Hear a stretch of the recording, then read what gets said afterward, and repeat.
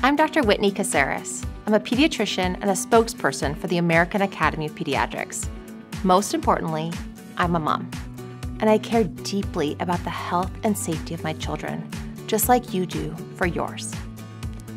I get a lot of questions from parents about vaccines, and many of them are about information found online, a lot of which is scary, and a lot of which, as a medical doctor, I know is just false.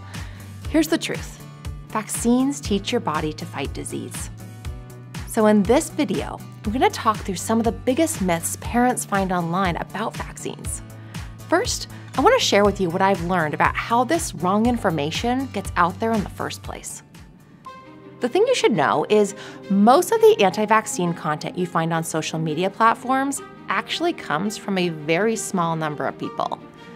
Their posts may seem authentic and convincing, which is why they're so effective at influencing concerned parents who are just trying to keep their children healthy and are searching for answers to their very, very legitimate questions.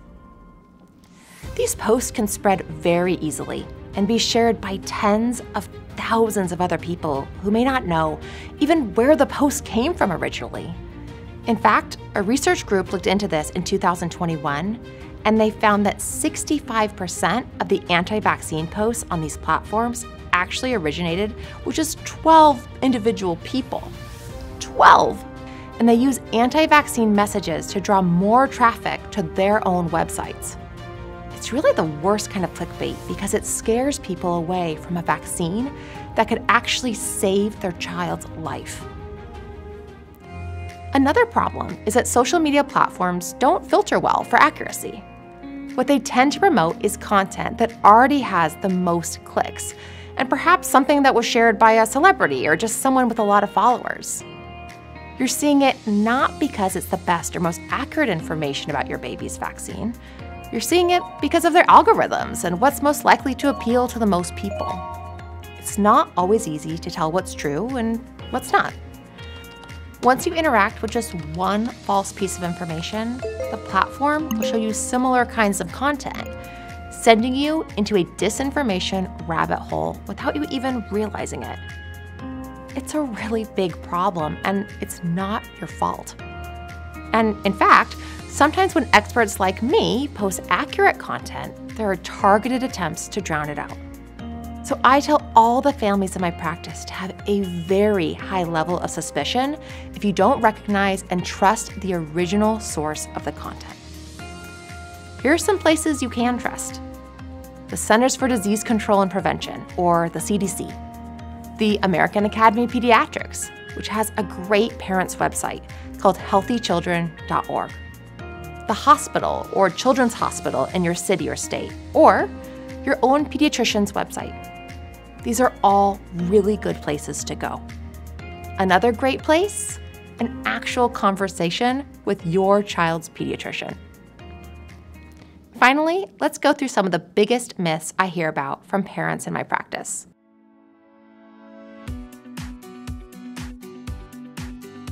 Number one, parents are concerned about getting their baby multiple vaccines at one visit.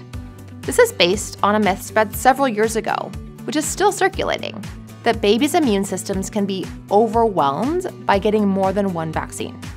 This is completely false. The amount of active ingredients in each vaccine is a tiny amount. Your baby is exposed to much more in their regular environment every day. All the vaccines we recommend to be given together have been tested together, and babies do completely fine. Number two, autism. This is a big one.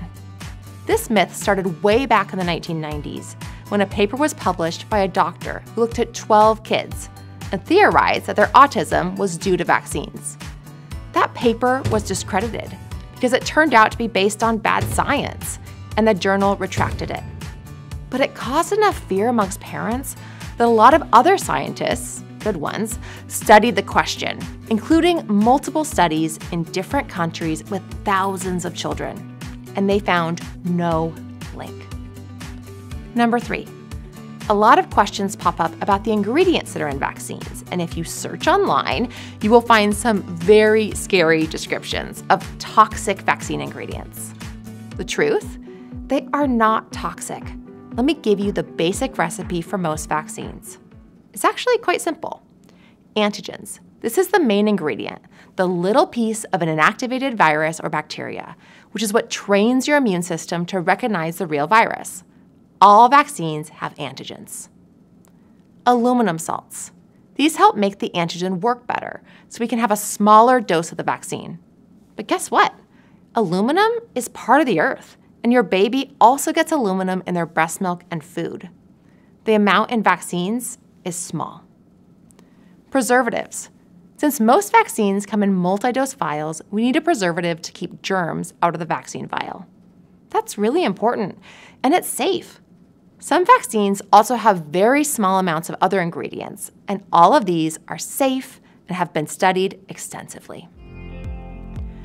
As a pediatrician, I know vaccinating your children is one of the most important steps you can take to prevent unnecessary antibiotic use, hospitalizations, and even death in your family. I am so glad my own kids are vaccinated. These are just a few of the myths. You've probably encountered others, and who knows what will pop up online tomorrow. The best advice I can give you is to look to sources you know and trust when you're seeking information about your child's health.